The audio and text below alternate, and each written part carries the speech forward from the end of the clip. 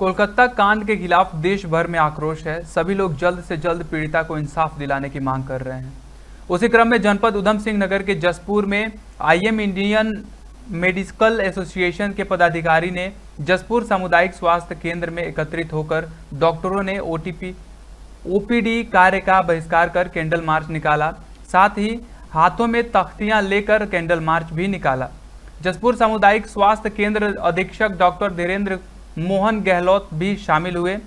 IMA नगर अध्यक्ष doctor MP Singh Chauhan का कहना है कि पीड़िता और उसके परिवार को जल्द से जल्द न्याय दिलाया जाए।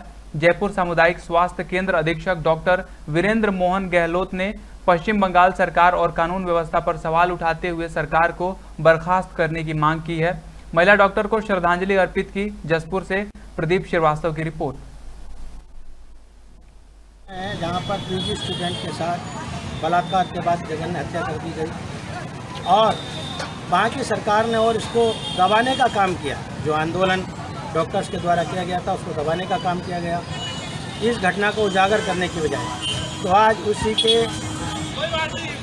विरोध में आईएमए, जसपुर एवं P M S S association Uttarakhand के द्वारा ये विरोध प्रदर्शन के लिए एक मार्च निकाला गया, जिसमें हम ममिता हत्याकांड वाले जितने भी अपराधी हैं, उनको फांसी चाहते हैं तथा उसके बाद जो अस्पताल में तोड़फोड़ की गई, इस इसके लिए केंद्र सरकार से चाहते हैं कि एक बहुत ही सख्त कानून बने, जिससे कि अस्पतालों में जो है तोड़फोड़ ना की जाए और डॉक्टरों को और पैरामेडिकल स्टाफ जो 24 घंटे देश की सेवा में, जनता की सेवा में लगे रहते हैं, उनको सुरक्षा मिले और ममिता को न्याय शुरू किया गया था। ये कोलकाता में, मेडिकल कॉलेज में टीवी चेस की, पीजी की पढ़ाई कर रही डॉक्टर मोमिता देवनाथ की जो दरिंदगी के साथ बलात्कार किया और फिर नृतन हत्या की गई, उसके विरोध में किया गया।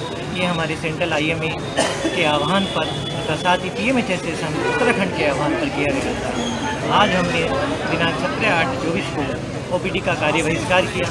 उसके बाद हम हम सरकारी अस्पताल जसपुर से बाज़ार होते हुए सुभाष चौक तक गए। सुभाष चौक पर हमने जाकर डॉक्टर मोमिता देवनाथ को श्रद्धांजलि अर्पित की।